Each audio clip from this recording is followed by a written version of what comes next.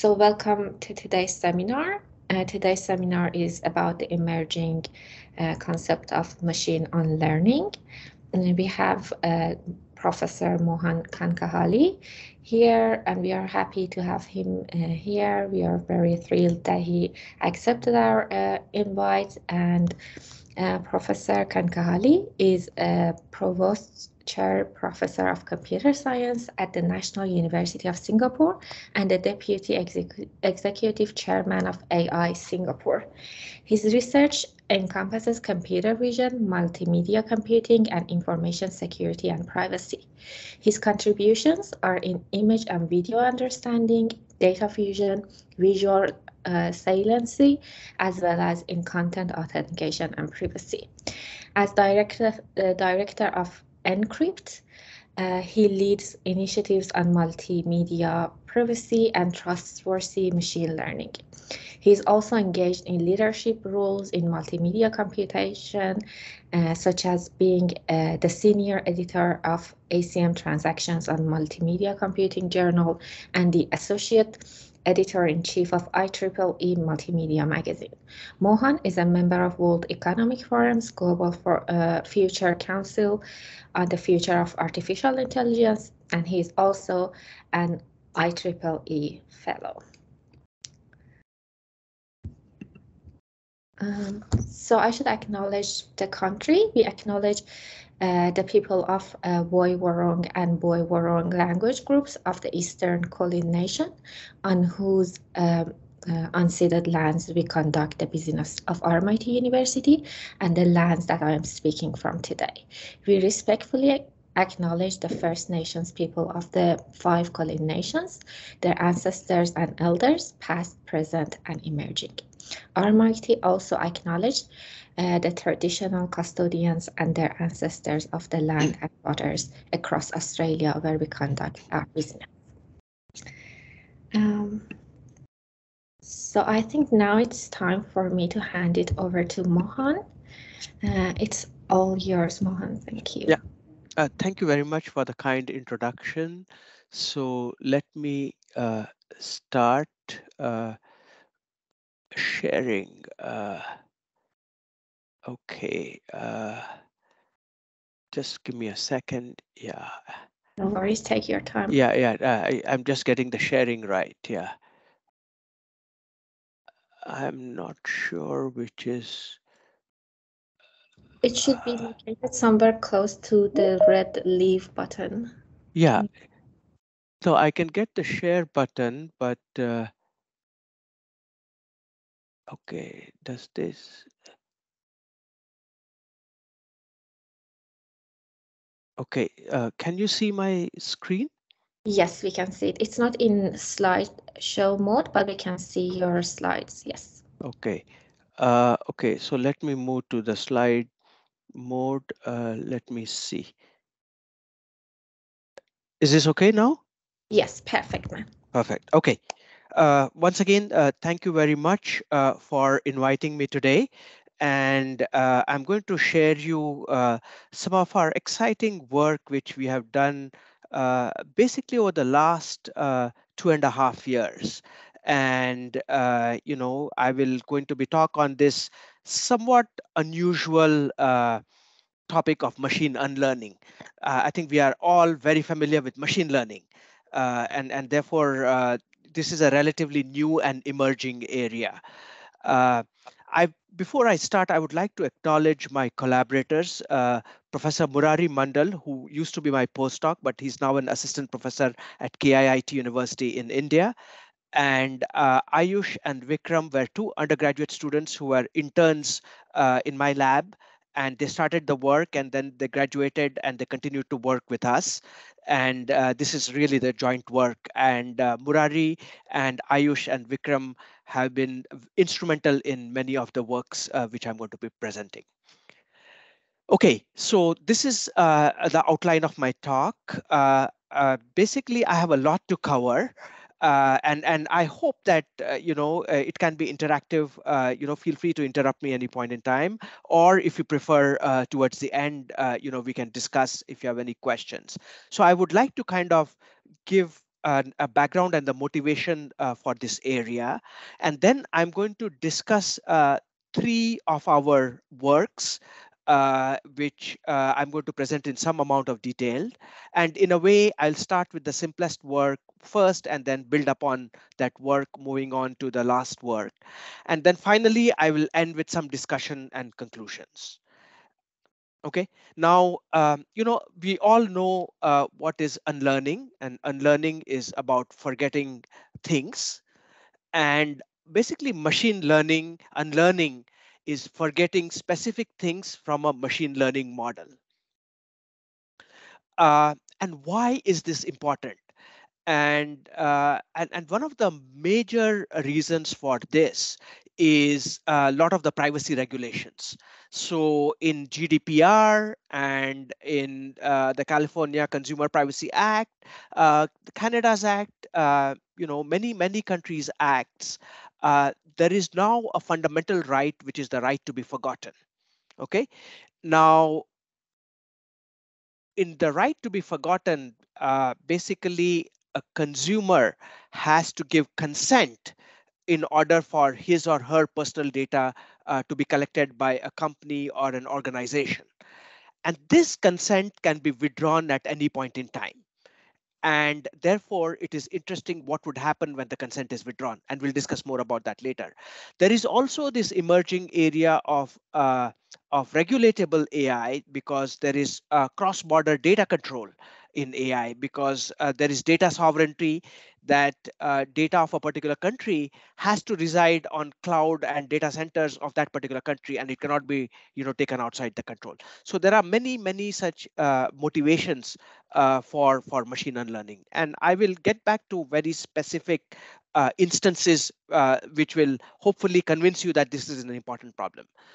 So the idea here is as seen on the top this is your classical machine learning pipeline uh, for a classifier. So we have lots and lots of data. Uh, this is I'm talking about the top row. And then we have a, a model for which you do training. And uh, basically, this is some kind of a supervised learning. And you have this data with labels, and then you come up with the classes. And basically, you have a trained model after some time, you know, uh, using your favorite, you know, architecture, favorite favorite training algorithm, and uh, you get your output classifier. Now, the machine unlearning does the opposite. It starts with the trained model, and then we want to apply an unlearning procedure such that it leads from a trained model to an unlearned model. And uh, we effectively what we do is suppose we had many types of uh, labels which we could classify into say different types of animals or different types of categories of images.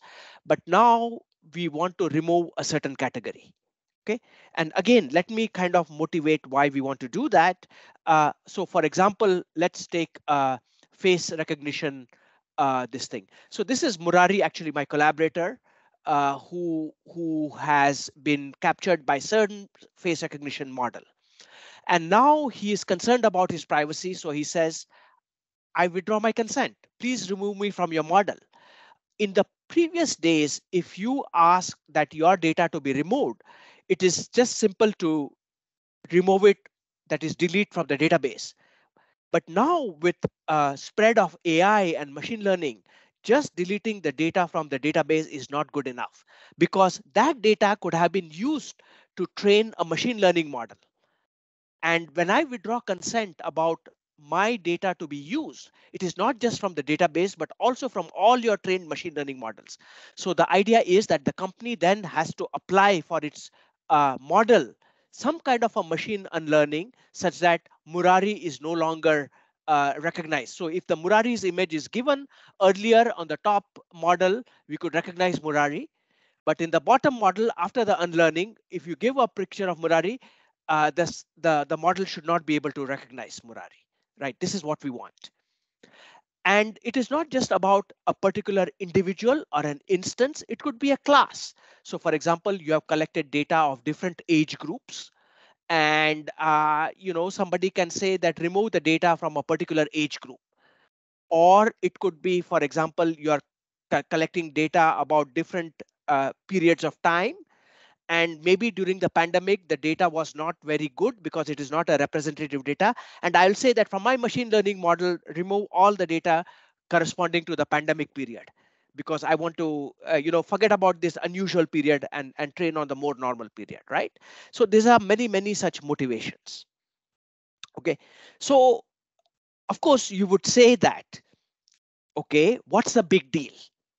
If somebody wants their data to be forgotten, I take my training data, remove that data to be forgotten from the training data, and just retrain the model without that particular persons or a particular groups or a particular time periods data. Well, if you think that is the solution, then I think I need to end my talk now. There's nothing more to discuss. That is a perfect solution, uh, and and uh, you know that will work.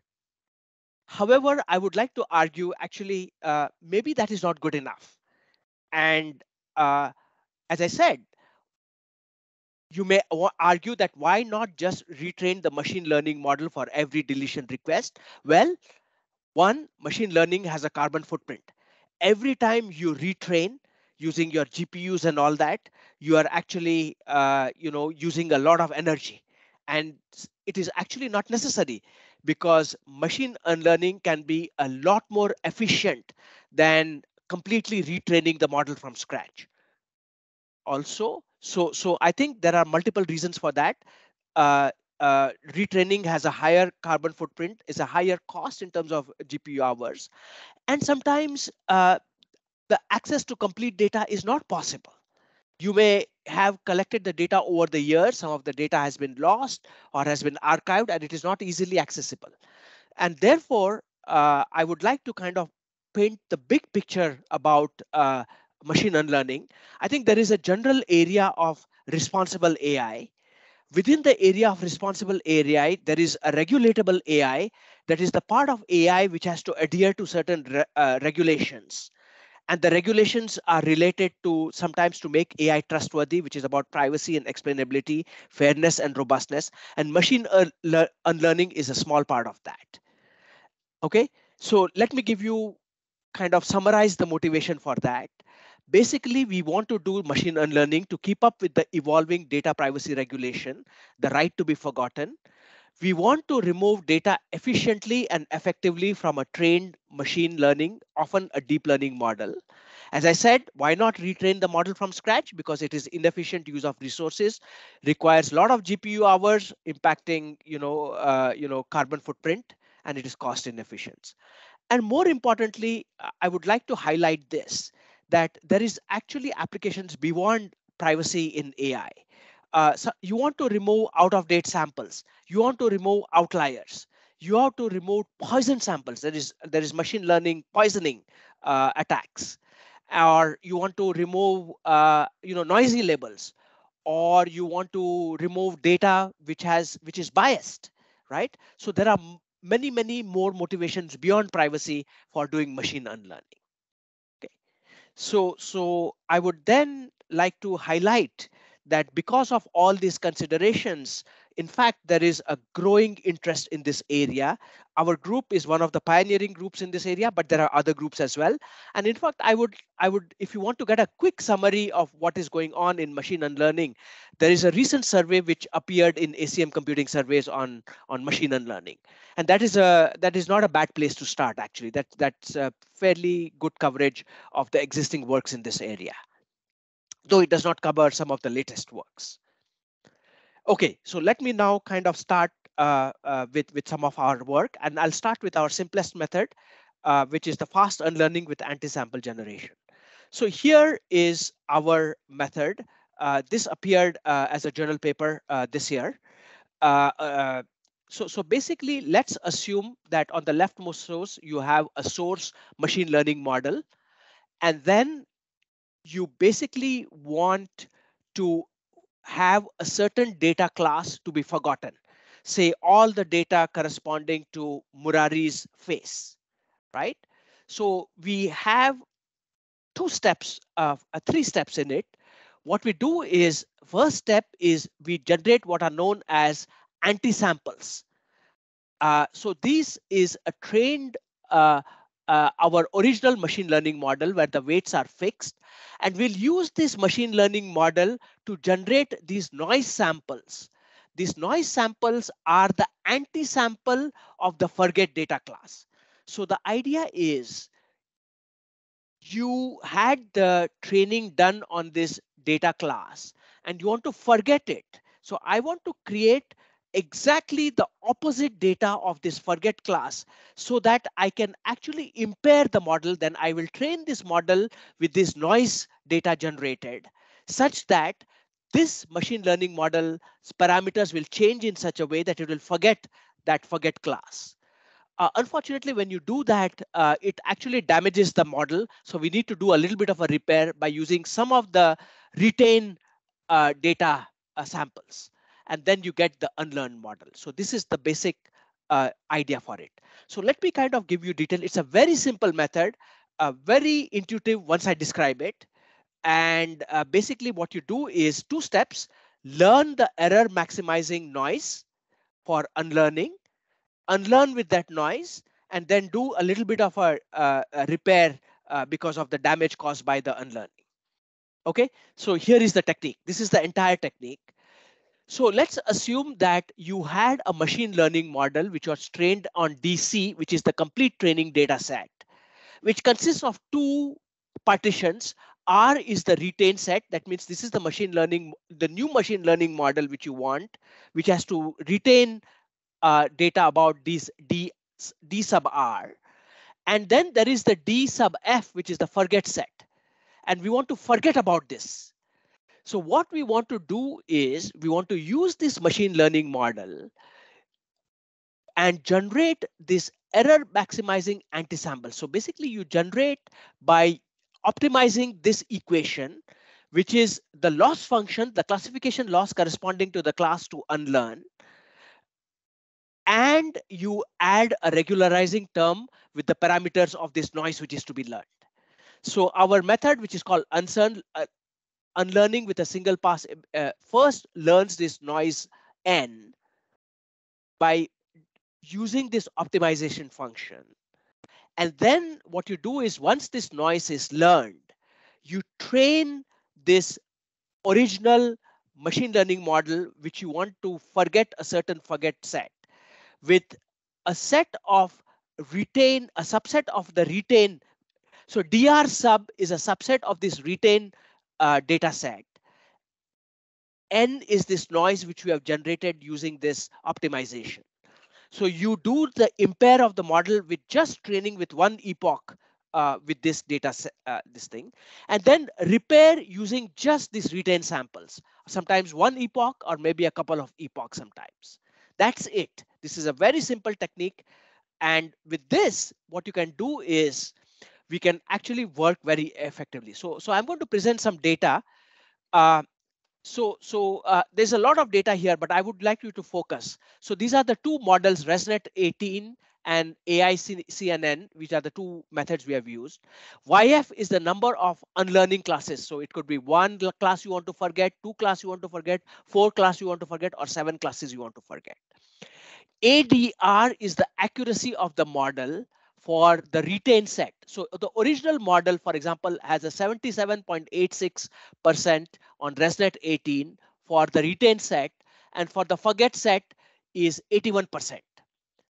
Now, this retrain model is is described below. The retrain model is the model that has been trained only on the retain data and has never seen the forget data. So it is often known as the gold standard model. The retain, mo retrain model is also known as the gold standard model because this model has never seen the, forgot, the forget data, which means this is the perfect model.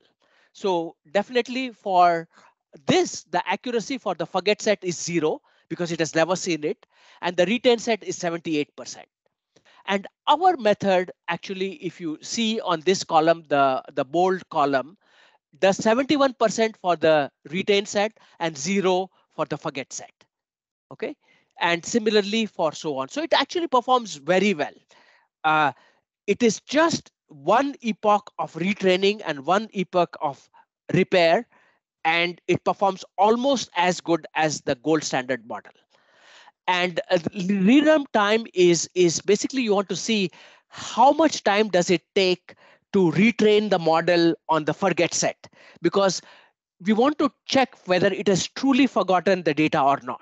So if it requires, uh, for the retrain model, it requires 77 epochs to regain on the forgotten data set.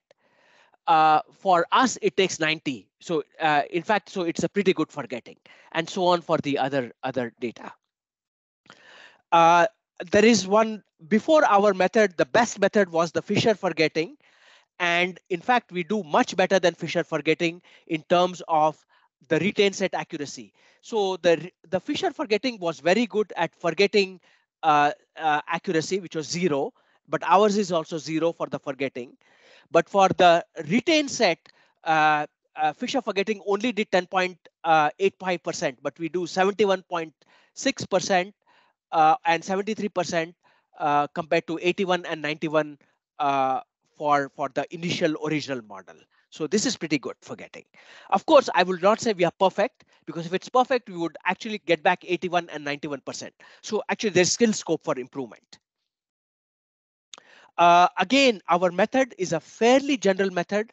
It can be used uh, for a variety of different data sets and a variety of architecture. So here we show a comparison for the ResNet uh, 18 architecture and uh, the vision transformer architecture. Again, if you see for uh, this is for the VGG Face 100 data set, uh, and these are the number of forget classes. Uh, for the forget uh, set for the gold standard model, it is zero. Ours is about 3% or 8%, depending on the different model.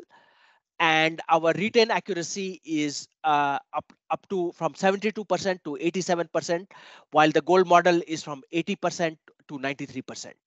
Uh, you know, unlearning facial data is challenging and there is of course scope for improvement, but we do pretty good. Uh, for CIFAR 100, again, our performance uh, is is is good, but it is not as good as the original, uh, you know, retrained model. Uh, but uh, again, as I said, there is scope for improvement. So we range from 75 to 68 percent while the original can go from 78 to 79%. And our forget accuracy ranges from 0 to 1 point percent, while the retrain model is 0%. Okay, that's pretty good for a, such a simple method. Again, uh, we did an ablation study. Uh, how many repair how many uh, impair step and how many repair step? Uh, if you just do one impair step and one repair step, it is actually pretty good uh, it's 80% uh, accuracy on uh, on retain set and 2% on retain set. But if we do two uh, times impair repair cycles, then uh, our actually the forget set accuracy drops to zero, and the retain set accuracy actually improves to actually you know 70%.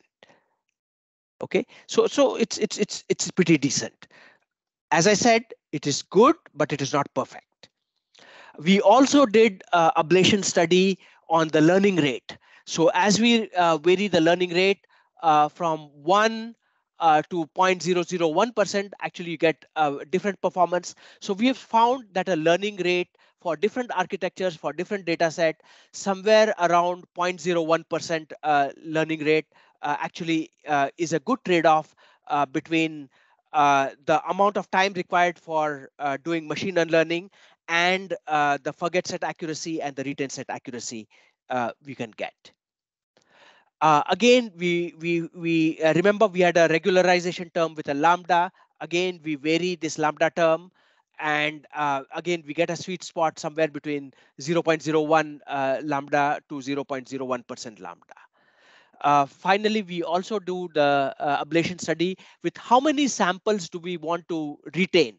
So if we do 1% of the, remember, after we do the machine learning with the noise, we need to uh, repair the damage. If we use only uh, on this right hand side uh, table, if we use only 1% of the original uh, retained data, actually we get decent uh, uh, performance of the repair 34% but if we get about 10% we get 64% of the accuracy of course if we use 60% of the data we get 74 the more retained data we use to retrain uh, in the repair step, of course, the better is the accuracy. But we want to get somewhere uh, decent, and we find that 10% actually is good enough. Uh, again, we do a comparison of the layer-wise uh, weight distance of the unlearned model, the retrain model, which is the gold standard model, and our model. It is actually uh, kind of comparable. Uh, more or less, our uh, weight distance is more or less similar uh, of the retrain model with respect to the original model and our model with respect to the original model. So one interesting question is, uh, is the gold standard model. Remember the gold standard model. The gold standard model is the model, the original model trained without using the forget uh, data. Is this the best unlearned model? Actually, surprisingly, we found that that is not so. Uh, we did an experiment uh, empirically. We found that the distance of the original model to the proposed model versus uh, distance to the original model with the retrained model uh, actually our distance is quite far away from the retrain model, but still the performance is as good as the retrain model, which means that in the learning manifold, the, the gold standard model is one place where the forget set accuracy is zero and the retain set accuracy is, uh, is quite high. But there could be other places in, in, the, in the whole entire space of models where the forget set accuracy could be zero and the retain set accuracy could be as high as the original model. So this is an interesting observation. Of course, we don't have a theoretical proof for that, that our unlearned model is not close to the retrained model in the parameter space, but the performance is still good, which which uh, gives the rise to the possibility that there could be multiple actually gold standard models in the parameter space.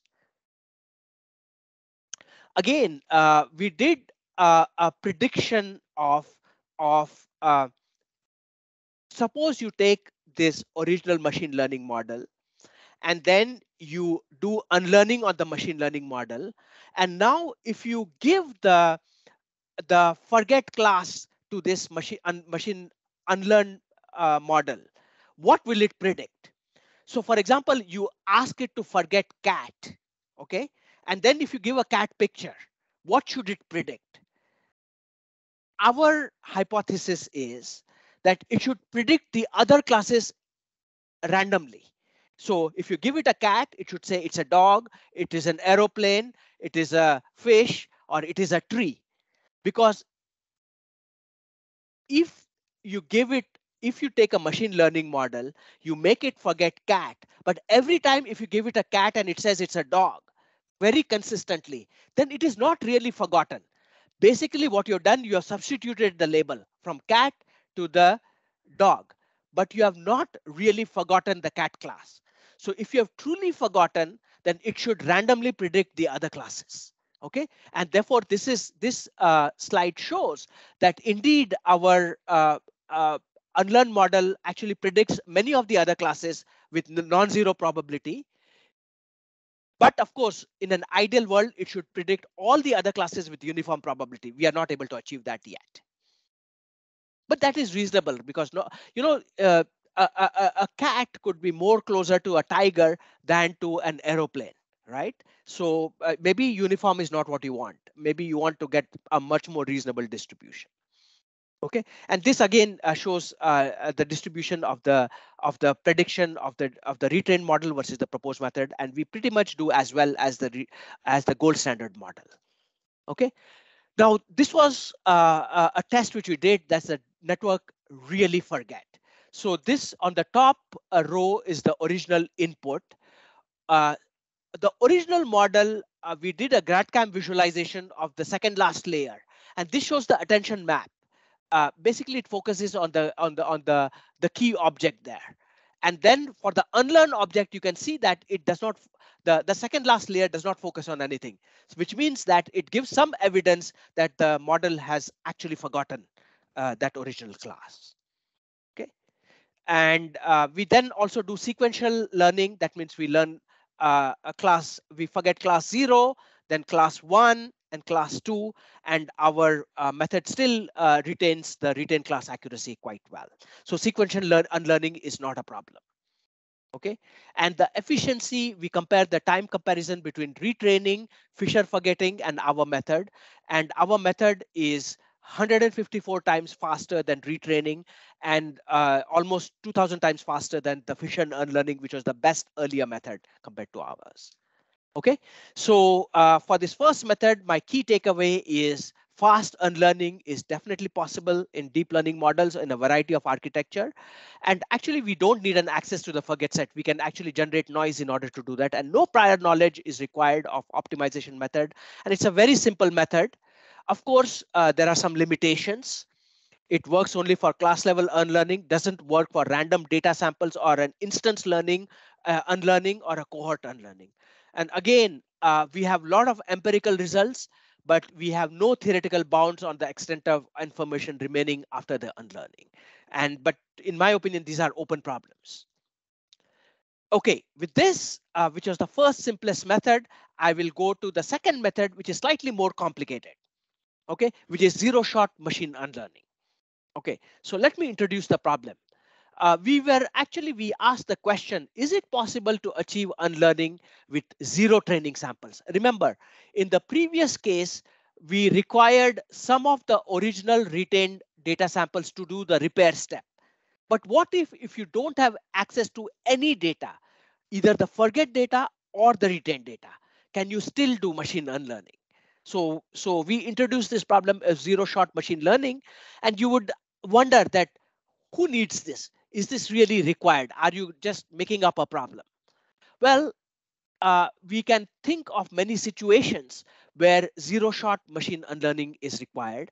Maybe uh, machine unlearning has got data from various sources, and later on the data is no longer available. It was in a public data, uh, uh, repository. Now that public repository is not available. Or there was some uh, buyer you bought the data from, and now the data is not available that was for only for training and you have no longer access to the data. Or the data consent has completely been withdrawn from by all the owners say this is, could be medical records. Or you have limited duration to access to certain data sets. Say for example tax data. You build your machine learning model on a tax data which your tax authority gives you limited access but then you don't have access to that anymore. Or it is on the fly online machine learning where you get streaming data, but you don't store that streaming data and you still want to do machine unlearning. So there are many situations where you need zero shot machine unlearning. Okay, so we propose two solutions for that. The first one is intuitive, uh, which is the error minimization maximization noise, but unfortunately it doesn't work. But that inspired us to do the second one, which is the gated knowledge transfer. So let me introduce this method. Uh, basically, uh, the method is related to the previous method, the fast unlearning. So remember, in the previous method, we, we did a noise sample generation using this optimization for the forget class. So we want to extend this to a data uh, setting how. Basically, what I do is I use a error maximization noise to generate the noise sample for the forget class. And I do the exactly the same thing for the retain class. I don't have the retain class, but now I generate error minimizing noise. Error minimizing noise presumably therefore is samples which corresponding to the retain set because for the classifier, this has minimum noise, which means it is like a retained data sample. So what I can do is I can generate noise based for the forget class by doing error maximization. And I do uh, noise samples with error minimization, which corresponds to the retained data. So if I do this, so I have a trained model. I start with uh, uh, generation for the, the noise for the forget set, then uh, the second noise for the retain set, then use this forget noise and the uh, retain noise and do my previous method of impair and repair. So I impair using the noise of the forget set and I do repair with the noise of the repair set. Okay, so this is a simple extension of the previous method, uh, which I call it the error minimization maximization noise method. And, and this is simple. Again, I have a, a, a step where I do forget data anti-sample generation, then retain data sample generation using error minimization. So data anti-sample was using uh, uh, error ma uh, maximization, and then I do this impair repair model uh, unlearning uh, in the last step. What we found is we did this method. We thought we were very clever. Uh, the intuition was right, but unfortunately the performance was poor. But what it did, did was it was inspired us to come up with a better solution which uses a combination of knowledge distillation and a generator. So let me explain this method now. Uh, in this method, uh, what we do is we have a teacher, which is the original machine learning model, and we have a student model, which is the machine unlearned model. That means this is like the teacher model, but it has forgotten about a certain class of data or a certain uh, type of data. Okay. And how do we do that? We do that by making the student learn from a generator which produces pseudo data points XP for a noise vector okay? So so so so so this uh, exactly is the architecture. So this t is the original teacher trained model. This is absolutely your original model. Now you want to come up with a new machine learning model. So what we do is we start with a student model which is exactly the same architecture as the student uh, as the teacher model the student model but the all the parameters are randomly initialized. Okay? Then what i do is i start a gated knowledge transfer process. What do i do is the following. I take the teacher and and what i do is i generate random samples using this generator. If the random sample corresponds to the retained set, then I, I tell the student model to learn from the teacher model. However, if this generated sample is corresponds to the forget set, then I don't pass this information to the student model because the teacher model can correctly classify the forget set. But I don't want the student model to learn that.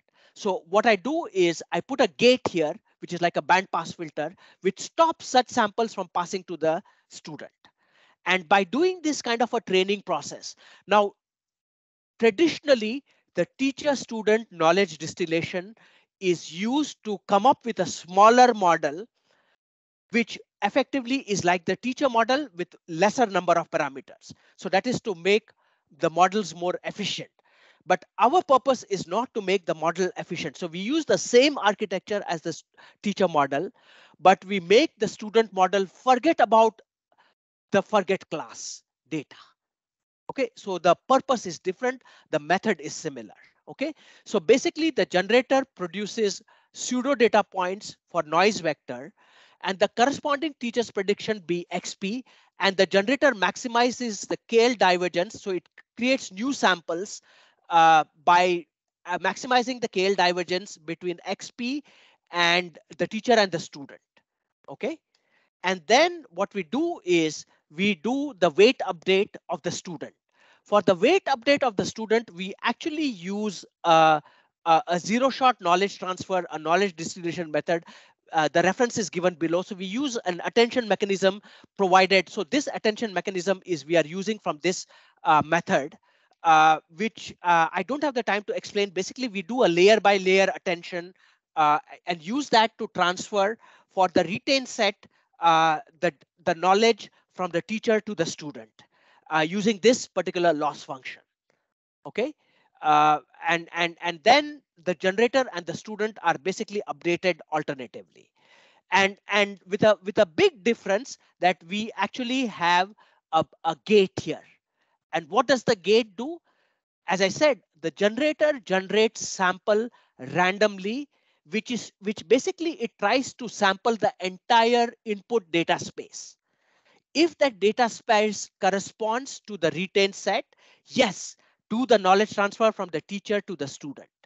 However, if the generator generates a sample corresponding to forget set, then block this knowledge transfer from the teacher to the student. So we need a gate which understands that this sample belongs to the forget set. How do we do that? We do it uh, by using a band pass filter. to restrict the generator from passing the information from the forget class, we place a filter which receives all the samples and filters them out by before passing to the student. So the filter criterion is very simple. If the if the prediction class of the the forget class is very high, where epsilon is the hyperparameter, then you block this particular sample, right? Because this belongs to the forget class, which means this student uh, uh, should not learn about this forget class because the because the teacher can predict this forget class with a high accuracy and therefore block this. By using this, now we can use a gated uh, uh, knowledge transfer algorithm where uh, this is the top part is the generator which keeps generating the sample. It wants to sample the input space. And then uh, this is uh, the gated transfer. By uh, applying the transfer, you do the student transfer in the second one. Okay, so this is the exact gated knowledge transfer algorithm for knowledge distillation. Again, uh, uh, we want to do uh, evaluation, but we actually come up with a new metric called the anamnesis index. Uh, basically, what we found is the retrain accuracy. So the idea, one of the uh, uh, training evaluation metrics was for the forget class, how long does it take for the unlearned model to, to relearn this forget class? But we found that that is not a very accurate uh, measure. So what we wanted to do is, so, so what, because what happens is the convergence of this forget class accuracy to the original model uh, can be very fast or very slow. So, but it is not a, uh, a indicator of the quality of the unlearning. So what we came up with a new index, which uh, basically is an anamnesis index, which says is how how fast is to reach to the original forget set within alpha percentage accuracy. And the idea is this uh, range uh, varies from zero to infinity and a better the model actually the value is one okay uh, so so basically we we did our uh, training uh, on this method. The MM method was our original uh, error maximization, minimization, maximization method. Uh, that is not as great a method for some of the things you'll see. And the GKT is the gated knowledge transfer method, and for which uh, uh, you can see the MM method, the retain set accuracy is not that good uh, while the forget set accuracy is also not that good. But for the GKT method, the forget set accuracy is close to the gold standard model method, the retrain model. And the uh, the retain set accuracy is also pretty good. And this AIN uh, uh, is is decent uh, uh, also because it is closer to one compared to the uh, error minimization maximization approach. Again, we did a single class uh, learning on LeNet and ResNet. Again, the performance is actually pretty good. I'm we compared to actually the state of the art non-zero shot unlearning methods. While the performance is not as good as non-zero shot, but I would say for a zero shot method, it is pretty decent performance. not as good as for example, here we get 81% as the best, but for uh, uh, it's 83% for uh, non-zero shot. And here uh, for two class unlearning, we are 81%, but it's 84% for uh, non-zero shot. So it's pretty decent, but not perfect. Okay. Uh, so zero shot actually performs quite decently. And again, we did ablation study uh, for what is the threshold for the band pass filter. We found that the threshold value greater than 0.1 uh, actually works quite well. Okay, uh, anything uh, higher than that does not work very well.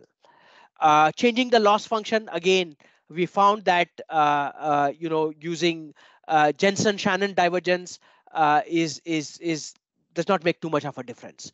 but changing the loss function actually makes a difference. Uh, finally, we do sequential uh, unlearning. That means we learn, forget class zero first, then class one, then class two, then class three, then class four.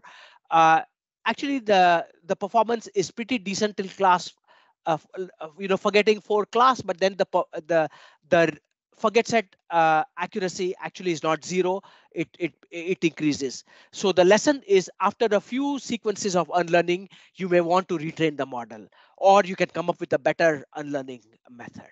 Okay, so the summary of the section method method is actually we have a reasonable method using gated knowledge transfer to do zero shot machine unlearning. It is not quite uh, as good as uh, the non-zero shot method, but it is pretty decent. Uh, it is not yet scalable to large models and large data set. It works for small models and small data set. And it supports only class level unlearning. Forgetting a random cohort is not possible. Okay, which brings us to our third method, which I'm going to describe, which is unlearning with a competent teacher. So this method actually uh, basically uh, is a more general method, and this is the be our best method so far. And this uh, is basically uses a bad teacher and a good teacher. Okay, so this this appeared in AAAI uh, earlier this year. Okay, so what do we do? So in this method, we use two teachers. So so we have two teachers. So let me uh, give the sit-in. A competent teacher, which is the good teacher, is the original model. This is the original model, the competent teacher, which uh, was fully trained on the retain set and the forget set. We now want to do machine learning, which means we want to come up with a new machine learning model which has forgotten about the forget data. And that is the student model. So this is the student model we will teach. How we will teach? We will teach from the competent teacher, which is the original model for the retained data. So it learns about the retained data from the original model, which is the competent teacher. But we also have a bad teacher or a dumb teacher or an incompetent teacher. What we do is we we we actually use the same architecture as the incompetent teacher, but we just randomly initialize all the weights. That means the output prediction of this incompetent teacher is actually rubbish. It gives rubbish for forget set as well as it gives rubbish for the retain set. But what we do is we use this bad teacher to train the student for the forget set. So that is basically the key idea. The competent teacher is the fully trained or the original model. Incompetent teacher is a randomly initialized model. And the student is initialized uh, uh, uh, with, with the complete data. So we start the student model as with the fully trained model. And then we start teaching it using the competent teacher and the incompetent teacher such that it retains the original retained data, but forgets the forget data set. Okay. So what we do is uh, basically there is a there is a KL divergence between uh, this uh, incompetent teacher and the student, and there is a KL divergence between the competent uh, teacher and the student, right? So so what we do is we want to retain. So our unlearning objective is we retain whatever we learn about the retain set from the competent teacher and we forget about that means we minimize the KL divergence with the dumb teacher, which means we forget the data about the forget class. Okay, so the key intuition is we start with the original model as the student model and we selectively remove the information about the forget samples from this model. So selectively transfer bad knowledge about forget data from the incompetent teacher by minimizing the KL divergence between the incompetent teacher and the student. And similarly, the correct knowledge from the competent teacher is fed from the competent teacher by minimizing the KL divergence between the smart teacher and the student. Okay, so this is the basic idea. And uh, again, that uh, we do on uh, all the various machine we evaluate on the various machine learning uh, uh metrics and we actually introduce a new uh, machine learning metric called the zrf which is the zero retrain forgetting metric so the idea is uh, this is a all the previous metrics require us to have the gold model. And we wanted to basically come up with a new uh, retraining metric where you don't have the gold model. That means you don't have the original data to train the gold model. So what we do is we take the unlearned model M and the incompetent teacher D, and we take the, the, the JS divergence between that. And that is uh, the retrain uh, metric. Uh, so the idea is the ZRF value. So, so let's assume that uh, we have a class called fish and we have a subclasses called aquarium fish, flatfish, ray, shark, trout, different kind. And the ZRF uh, as one means that it is completely random for the forget sample, which means that it has poor generalization.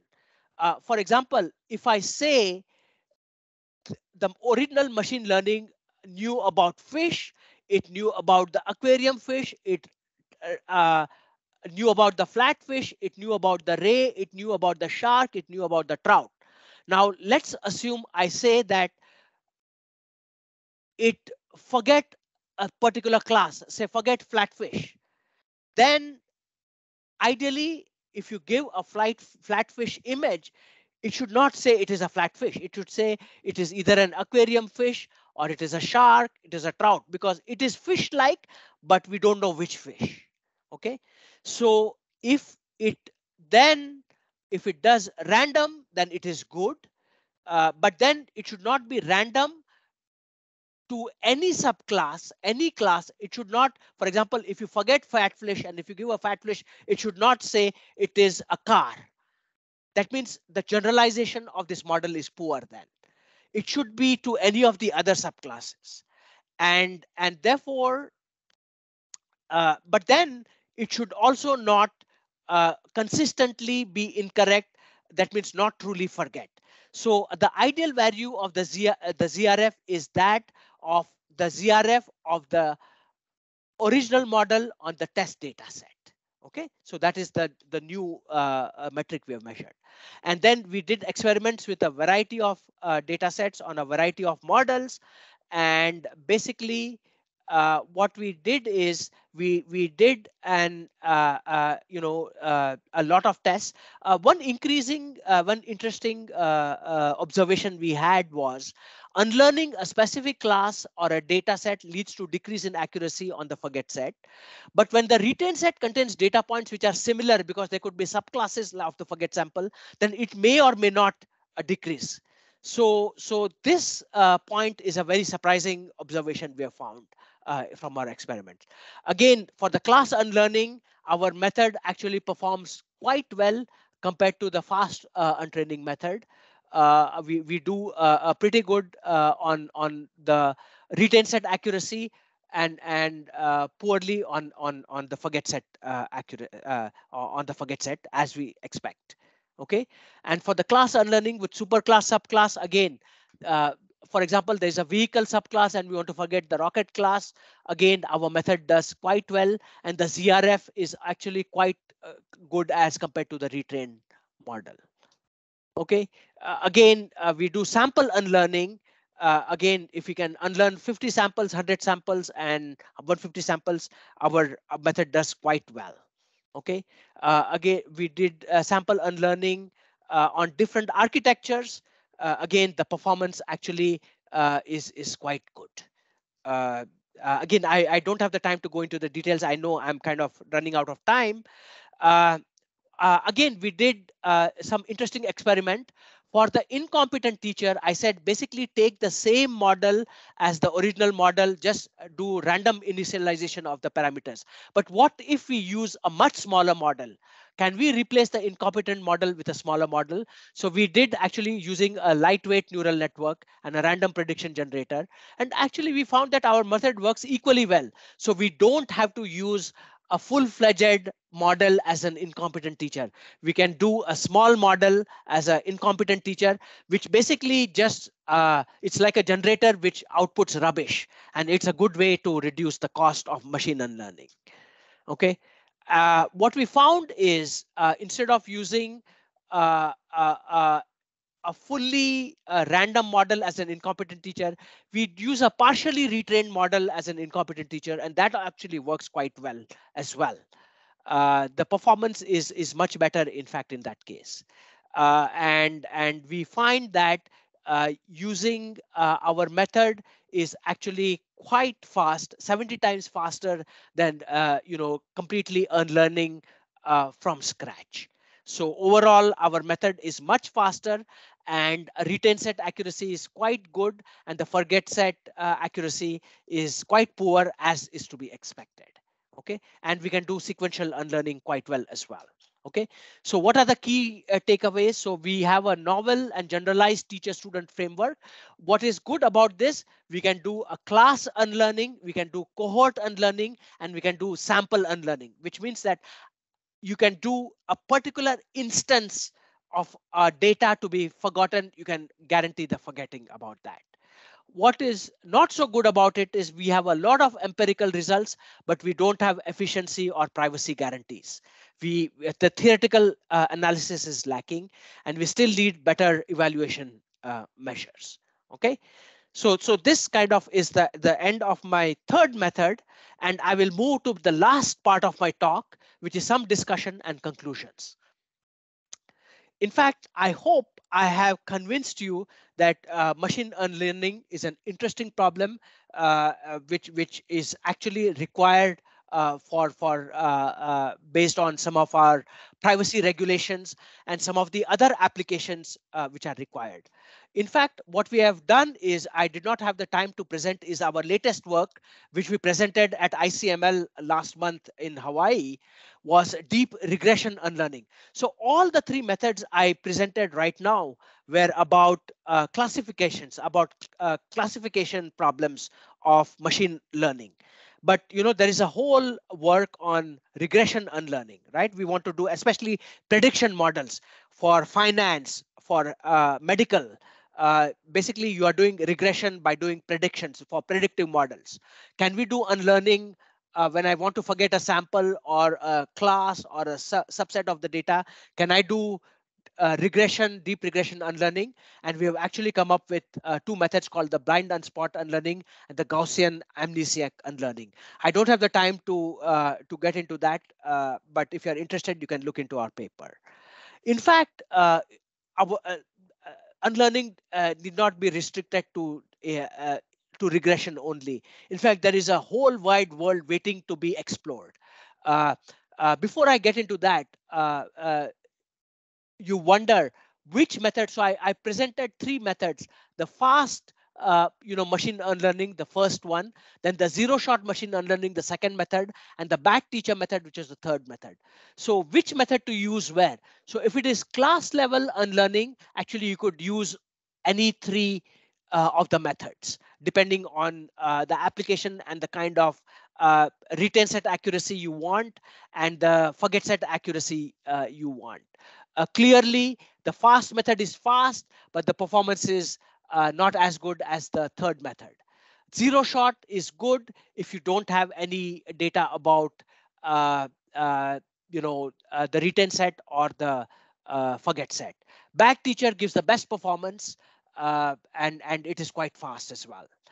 Uh, but if you want to do a random sample unlearning, not a class unlearning, then unfortunately the first two methods don't work. Only the bad teacher, the third method which I presented works. So this is for the classification problem. For the regression unlearning, to uh, actually ours is the first method uh, in the world. Uh, there is no other method. And our method actually is not that good. So there is a lot of scope for improvement out there. Okay. In fact, there is a lot of other types of unlearning uh, a lot of data in the world is in form of graph, for example, social network. So if I am a Facebook uh, or an Instagram or a TikTok subscriber and I go and tell my platform company, forget me, I want to unsubscribe, then they have to do machine unlearning for the recommendation system. So graph unlearning is turning out to be an important problem in this setting. Uh, then, of course, there is the federated unlearning uh, when there is federated learning where uh, data is not shared, there are multiple nodes. Can we do federated unlearning also when there is federated machine learning? Uh, then, of course, the, for unsupervised learning, can we do unsupervised unlearning as well? Again, uh, uh, to the best of my knowledge, there is no such method uh, available as of now.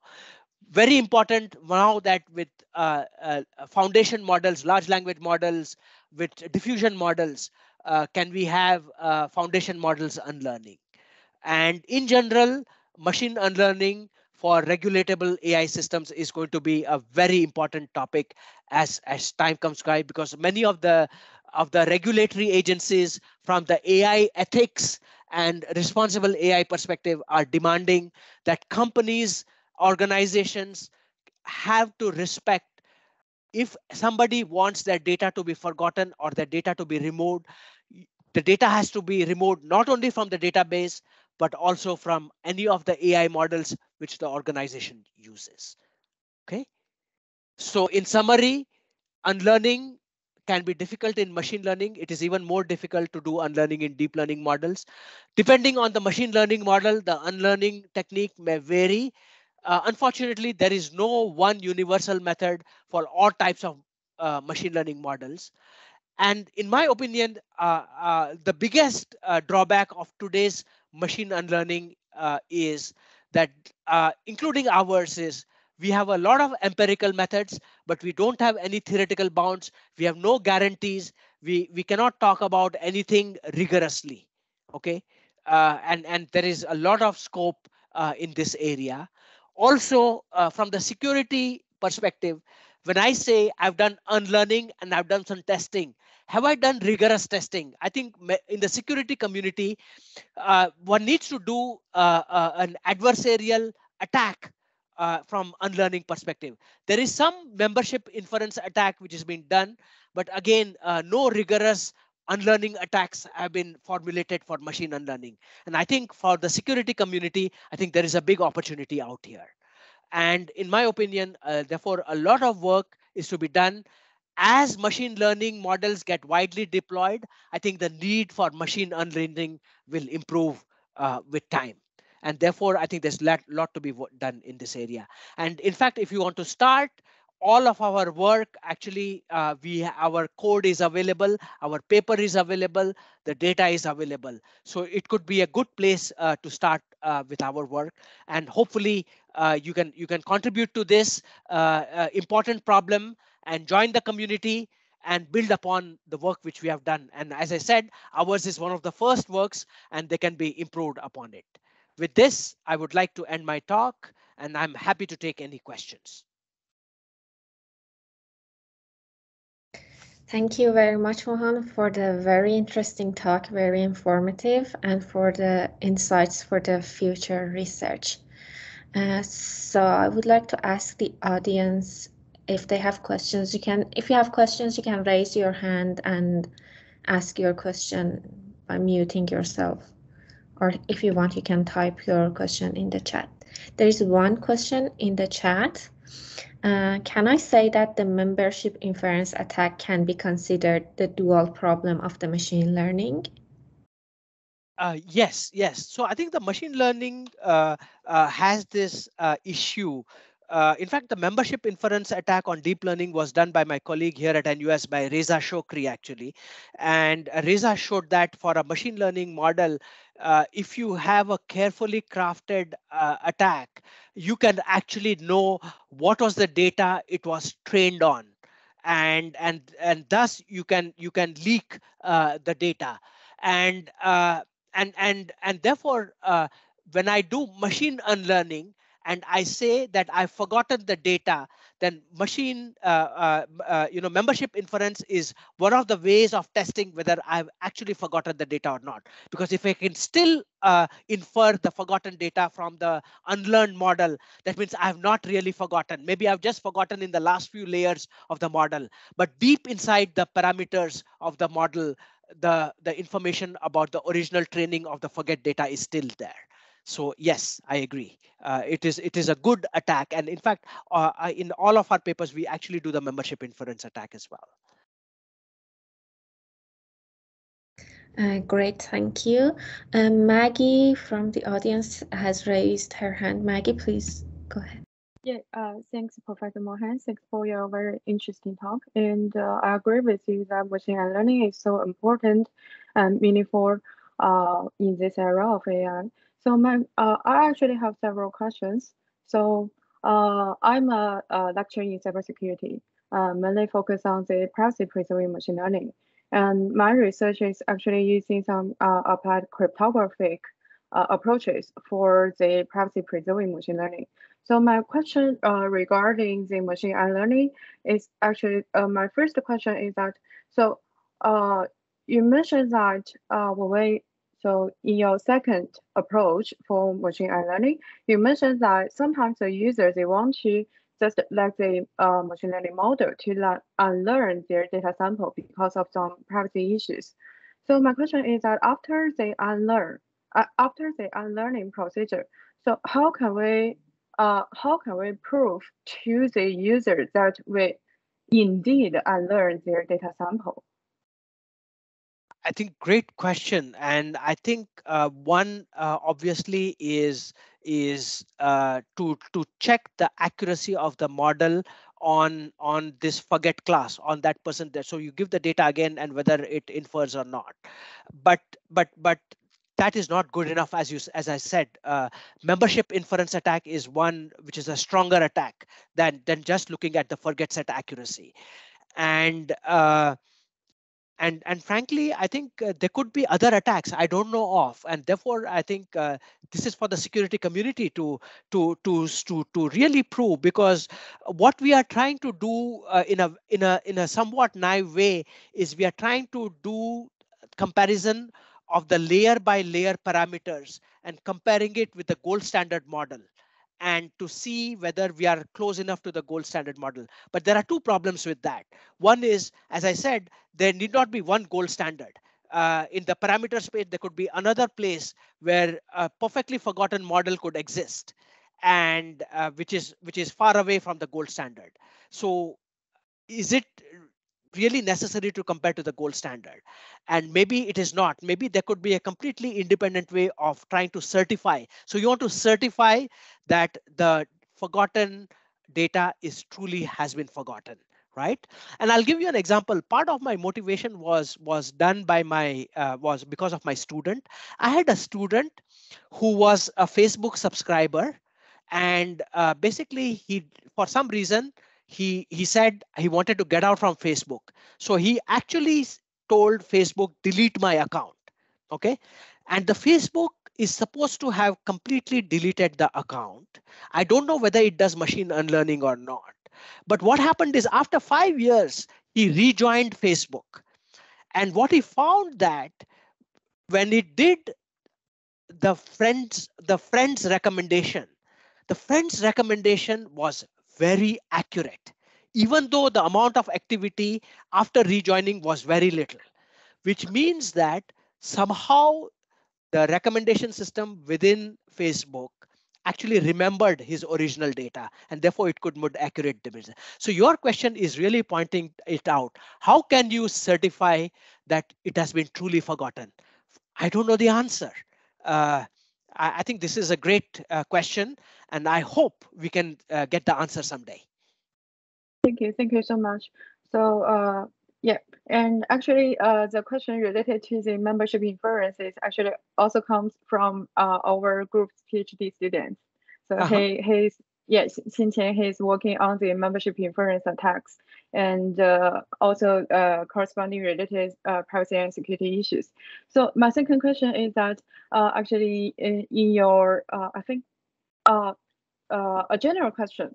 So, so from your perspective, do you think the performance of learning is actually related to the overfitting of the model?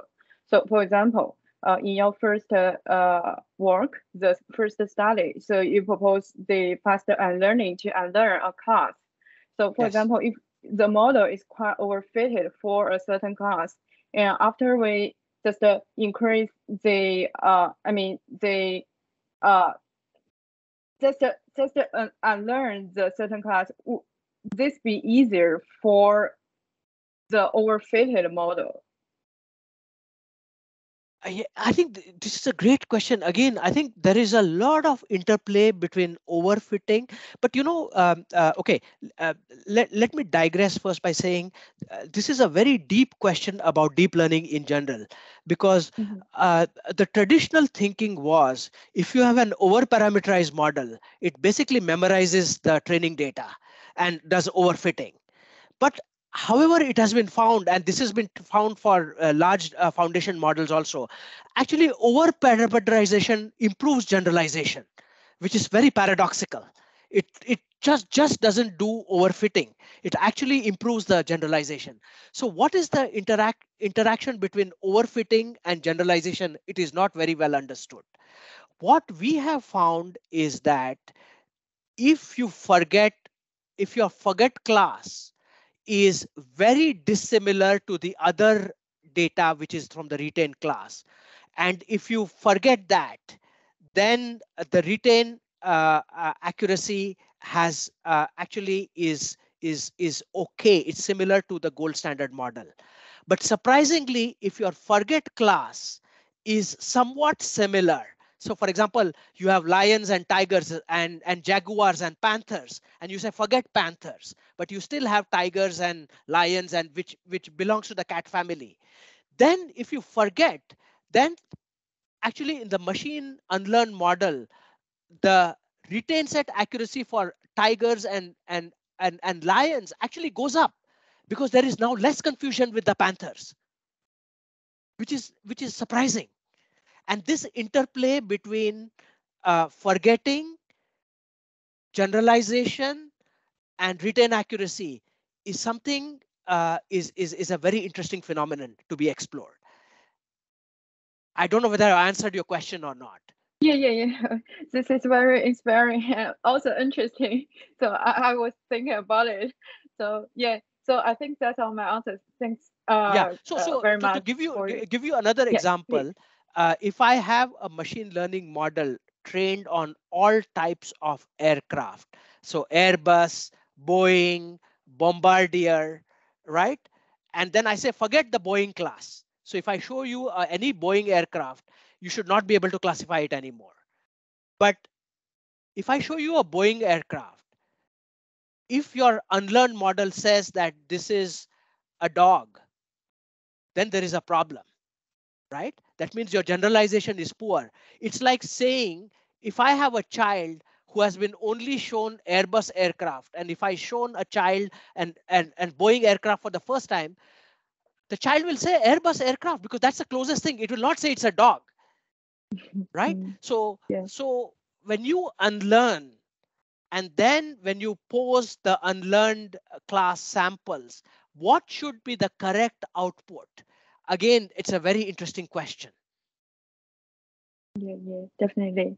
Thank you very much, Professor Mohan. Yeah. So I think that's all my questions. Yeah, so uh, I think there is a chat uh, question which says, how can we use sample generation idea for fairness machine? Great idea. I think I think this is something uh, definitely we can do. The generator idea.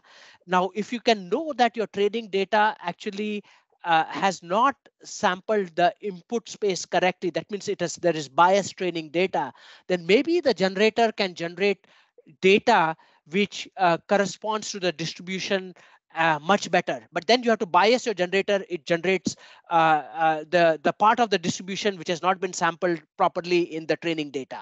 I think there is scope for that. I've not done it. I don't know anybody who's done it, but I think that is that is a great uh, use of that idea. Great, thank you.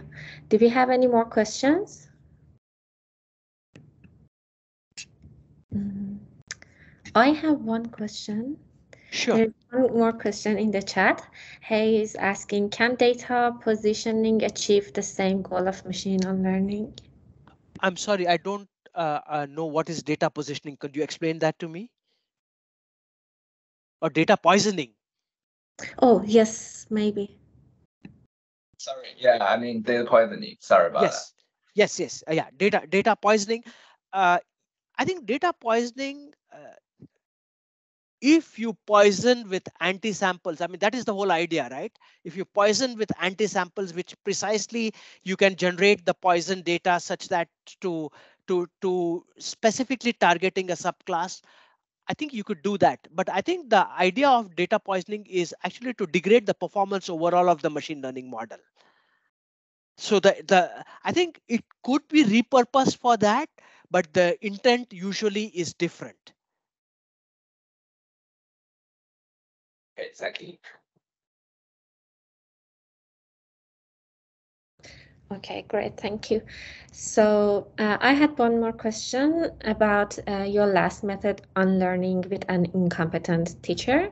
I remember right. that you mentioned that you tested and realized that uh, if you, instead of uh, using randomized parameters or weights for the incompetent teacher, you tried and um, trained it partially and it the, the model performed better compared yes, to random yes. weights. Do you have any intuitions behind this? No, actually, in our paper we have mentioned this that uh, we we have we have had this observation that the partially trained method actually works better, and and frankly we don't know why.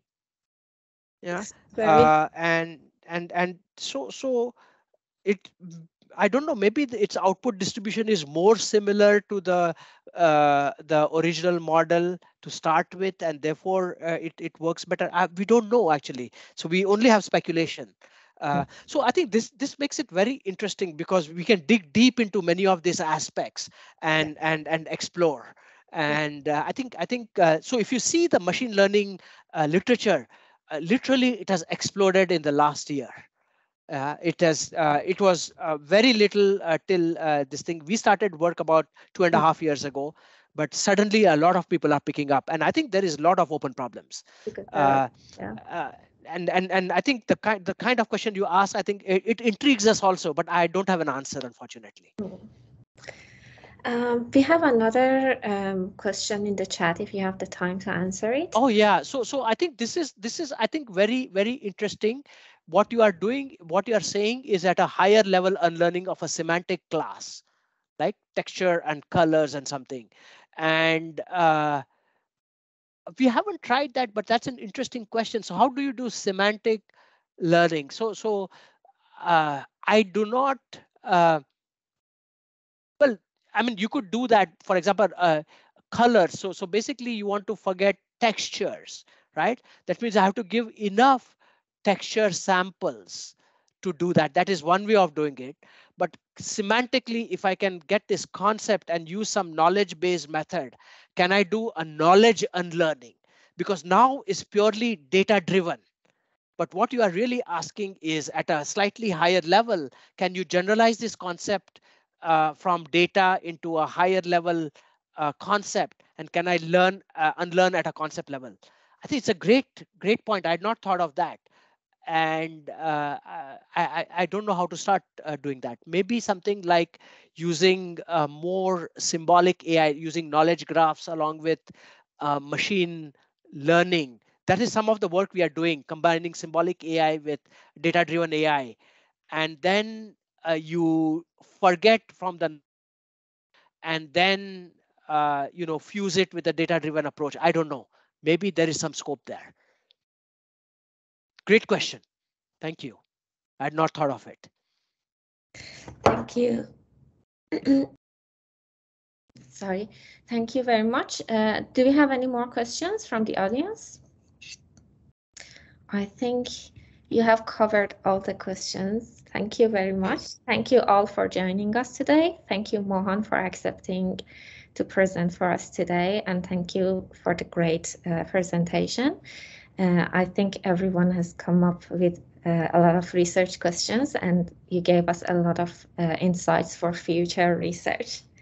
Oh, thank you. Thank you. It was a pleasure. And and that's what I think we are very excited about this area. And I see we see a lot of potential. So when you invited me to give the talk, I thought this is a good opportunity because not many people and uh, have come across this yet. That's what I'm finding. And sometimes when I talk about machine unlearning, people think it's a joke, right? On machine unlearning. No, no, no, it's not a joke. This is a serious research topic. Mm -hmm. Yes, yes, totally makes sense. Thank you again. And uh, Thank you. I hope you have a great day. Okay, thank you very much uh, to the audience and to you, uh, Masid, uh, for inviting me. Uh, it's been my pleasure. Thank you very much, and you too have a great See you in day. person next year. Yep. Okay, bye-bye. Bye. Bye.